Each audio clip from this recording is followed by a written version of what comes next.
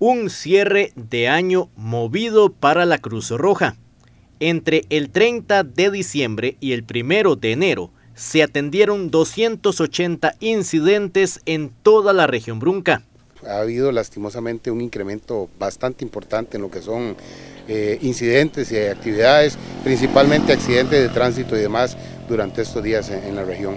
De hecho, bueno, acá tengo eh, en anotaciones para hacerlo más claro posible. Hablamos de que el 30 de diciembre se atendieron en el despacho un total de 72 incidentes. El 31 de diciembre manejamos un total de 89 incidentes, de los cuales 10 fueron accidentes de tránsito. Y ya para el primero de este 2024 se manejaron 119 incidentes a nivel del despacho con cuatro accidentes de tránsito. Entonces tuvimos mucho, mucho incremento en lo que fueron accidentes, incidentes, atenciones y demás en toda la región de la zona sur.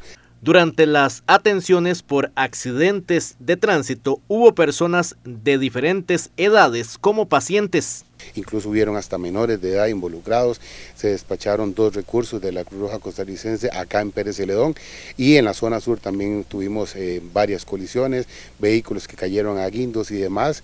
Eh, lo que nos alerta, obviamente, y lo que nos alerta y, hacer como siempre un llamado a la prevención a todas las personas que van a estar por, nuestra zona.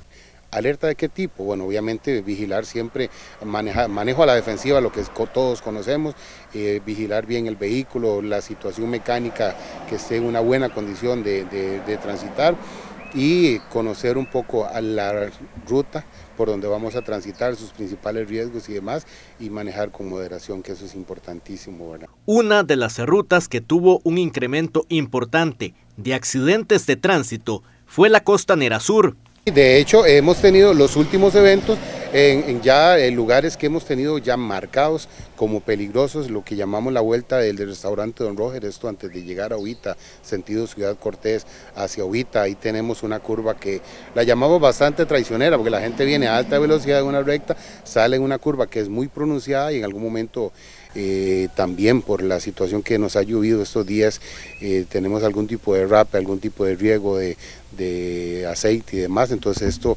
conlleva un alto riesgo de pérdida de control del vehículo, lo cual nos ha ocasionado muchísimos, muchas emergencias en estos días. La mayoría de pacientes atendidos fueron trasladados en una condición roja.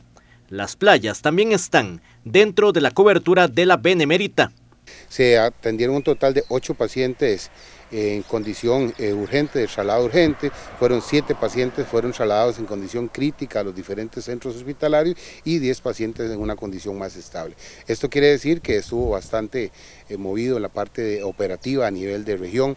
Nosotros en, durante el fin de año, bueno, desde el 24, 25, hemos implementado a nivel nacional y por supuesto nosotros a nivel de región 8, zona sur, lo que llamamos el plan operativo de fin y principio de año. Eso quiere decir que en las diferentes diferentes, diferentes playas, en los eh, principales centros de carretera, como hablamos ruta costanera y ruta interamericana, hemos instalado puestos de atención donde tenemos nuestro personal, nuestras unidades debidamente eh, alertas por cualquier eventualidad que se pueda presentar. Durante esta semana se reporta una importante visitación en playas, por lo que la Cruz Roja pide precaución. Principalmente hemos estado trabajando en lo que son playa dominical, eh, trabajamos también en Playa Hermosa, estuvimos en Playa Chamán, eh, Playa Ventanas, eh, Playa Zancudo, que es un lugar donde hay mucha, mucha presencia de turistas. Tuvimos unidades en el sector de Chacarita sobre Ruta 2 Interamericana y otra unidad en el sector de Ruta Costanera.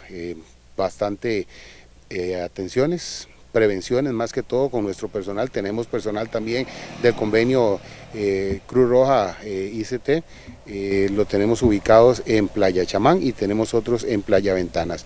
Ahí por dicha los muchachos guardavidas siempre están atentos a dar prevención, alerta, guías, principalmente a los turistas que llegan y no conocen mucho la zona y obviamente por su falta de conocimiento se exponen en algunos casos a situaciones de riesgo y también se hicieron varios rescates efectivos donde se actuó oportunamente y se salvó la vida de varios bañistas que fueron arrastrados por alguna situación, alguna corriente y demás.